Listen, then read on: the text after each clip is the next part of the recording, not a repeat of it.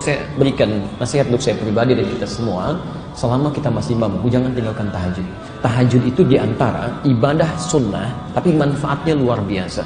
Di antara manfaat yang paling istimewa, itu bisa menghadirkan kedekatan dengan Allah sampai menunjukkan kepada anda, begini cara mengawalinya, begini keluar dari persoalan. Kalau anda disakiti, langsung pertolongan Allah datang, tanpa perantara. Itu ada di Quran surah ke-17, ayat 79 sampai 81. Anda rajin tahajud, dekat dengan Allah, maka Allah akan angkat derajat Anda terbanyak-terbanyak. Kemudian Anda akan dibimbing bagaimana mengawali pekerjaan dengan benar. Ada orang tua yang memohon-mohon dengan cara yang tidak benar, ada yang ngasih hadiah, ngasih uang macam-macam. Anda tidak akan diberikan jalan. Anda akan diarahkan gini caranya, gini jalan keluarnya.